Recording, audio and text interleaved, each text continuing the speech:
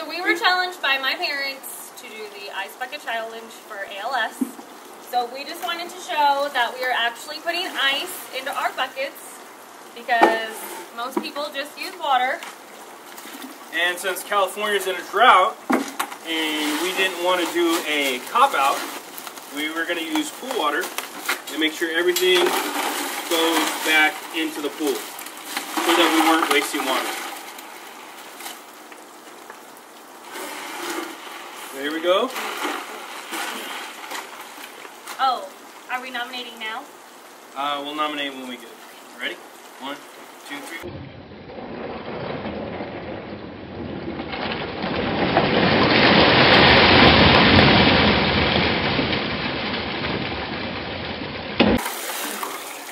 That is so cold. All right.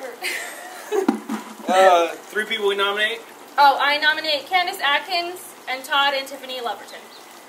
Madison Green, Matthew Green, and uh, Amanda Green. You guys have 48 hours. Good luck.